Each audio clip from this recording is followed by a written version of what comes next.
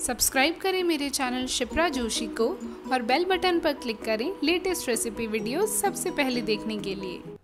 अगर आप भी झटपट बन जाने वाला लेकिन हेल्दी और टेस्टी सा नाश्ता ढूंढ रहे हैं तो बस परफेक्ट वीडियो पर क्लिक कर दिया है आपने। इसे पूरा एंड तक ज़रूर देखिएगा। Hi guys welcome to my channel आज मैं आपके लिए लेकर आई हूँ सूजी और मटर का बहुत ही कम तेल में बना स्वादिष्ट नाश्ता जो काफ़ी फिलिंग है और जल्दी से बन भी जाता है। इसे एक बार नाश्ते में खा लीजिए, बहुत देर भूख नहीं लगेगी आपको, पेट भरा रहेगा। इसी कारण बच्चों को देने के लिए भी ये काफ़ी अच्छा ऑप्शन है। चलिए फिर रेसिपी शुरू करते हैं। इसके लिए सबसे पहले हम एक बोल में लेंगे एक कप सूजी। इसमें आप ऐड कीजिए आधा कप दही और आधा टीस्पून नमक। मिला देते हैं इनको अच्छे से। फिर थोड़ा सा पानी ऐड कर दीजिए ऊपर से ताकि बैटर हल्का सा पतला हो जाए। ये देखिए इस तरह का। अब हम इसे ढककर आधा घंटे के लिए सेट होने को छोड़ देंगे। चलिए तब तक स्टफिंग तैयार कर लेते हैं। इसके लिए हम गैस को मीडियम फ्लेम पर सेट करके एक पैन रखेंगे और उसमें डालेंगे एक चम्मच तेल।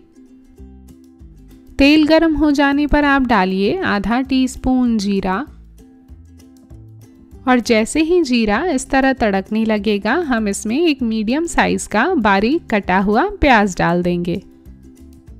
मिलाकर एक मिनट के लिए भून लीजिए इसको। इसके बाद हम ऐड करेंगे एक बारीक कटी हुई हरी मिर्च और आधा टीस्पून जिंजर गार्लिक पेस्ट। मिला देते हैं इनको। फिर आप डालिए एक कप मटर के दाने। मैंने यहाँ पर फ्रेश मटर यूज़ किए हैं। सर्दियों का मौसम आने वाला है, ऐसे में हरे हरे फ्रेश मटर खूब मिलेंगे अब। तो ये वाला नाश्ता आप एक बार ज़रूर ट्राई कीजिएगा। वैसे अगर आप चाहें तो यहाँ पर फ्रोज़न मटर भी यूज़ कर सकते हैं। इनको दो मिनट पकाने के बाद हम ऐड करेंगे मसाले, जैसे कि एक तिहाई टीस्पून लाल मिर्च पाउडर एक चौथाई टीस्पून हल्दी पाउडर आधा टीस्पून धनिया पाउडर एक चौथाई टीस्पून गरम मसाला पाउडर और एक चौथाई टीस्पून नमक। इनको मिलाकर एक मिनट के लिए और भून लेंगे हम इसे। फिर आप आखिर में ऐड कीजिए दो चुटकी हींग। बहुत ही अच्छी खुशबू आएगी इससे वैसे ये बिल्कुल ऑप्शनल है, अगर आपको पसंद नहीं है तो स्किप कर दीजिएगा इसे। देखिए कितने चटपटे मटर बनकर तैयार हुए हैं। अब हम गैस बंद कर देंगे और इसे थोड़ी देर के लिए ठंडा होने को छोड़ देंगे। आठ दस मिनट के बाद जब इनका टेम्परेचर नॉर्मल हो जाए, तब आप एक मिक्सर जार में डालकर पीस लीजिए इनको।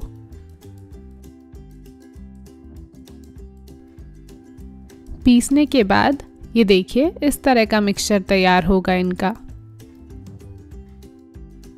अब हमने जो सूजी का घोल सेट होने के लिए रखा था, वो भी बिल्कुल तैयार है। यहाँ हम इसमें ऐड करेंगे एक चौथाई टीस्पून इनो पाउडर और मिला देंगे इसे।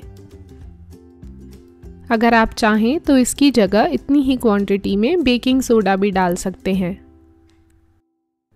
यहाँ पर इस बात का खास ध्यान रखिएगा कि इनो पाउडर डालने के बाद हमें इसे ज़्यादा देर नहीं रखना है। तुरंत ही नाश्ता तैयार कर लेना है इससे। ये देखिए, इस तरह की कंसिस्टेंसी होनी चाहिए फाइनली इसकी। चलिए, अब नाश्ता तैयार करने के लिए हमें गैस को लो फ्लेम पर सेट करके एक तवा रखना है और उस पर ब्रश की मदद से इस तरह हल्का सा तेल लगा देना है। अब आप सूजी वाले घोल को बड़े चम्मच में लीजिए और इस तरह तवे पर गोल शेप में स्प्रेड कर दीजिए। इसके बाद हम एक चम्मच मटर का मिक्सचर हाथ में लेंगे और इस तरह रफली ऐसे एक टिक्की की शेप दे देंगे इसको। इसको आप रखिए बीच में और फिर थोड़ा और सूजी का बैटर लेकर ऐसे कवर कर दीजिए। ज़्यादा मोटा लेयर नहीं, बस पतला सा स्प्रेड कीजिएगा ताकि ये अच्छे से कवर हो जाए। वरना ये अंदर से कच्चा रह सकता है। थोड़ा और तेल डाल देंगे हम ऊपर और साइड में। 10 से 15 सेकेंड एक तरफ़ से सिक जाने के बाद आप इस तरह दो चम्मच लेकर पलट दीजिए इसको। देखिए, मैंने आपके सामने पलटा है, बहुत ही आसानी से हो जाएगा ये, कोई दिक्कत नहीं आएगी।